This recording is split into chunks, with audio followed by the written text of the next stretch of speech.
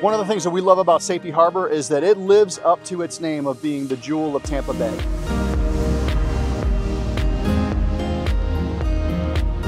You've got this little kind of small town charm um, that I think is very appealing uh, to people. It's magical.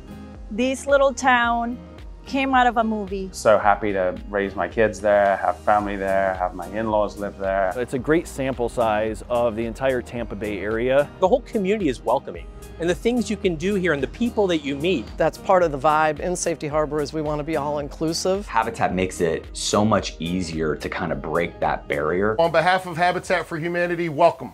Welcome home.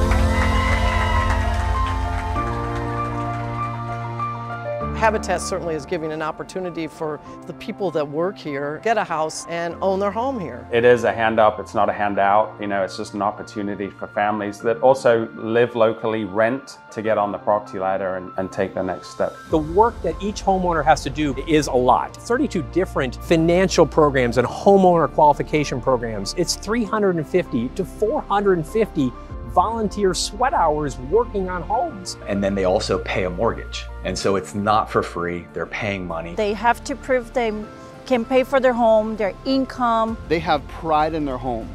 They take care of their homes. Build generational wealth for their families, for their kids. People need a safe place to be and call home, raise a family. They have a safe place to live like the rest of us want and, and do have. Everyone deserves a fair and equal opportunity, and there's no better place to do it than Safety Harbor.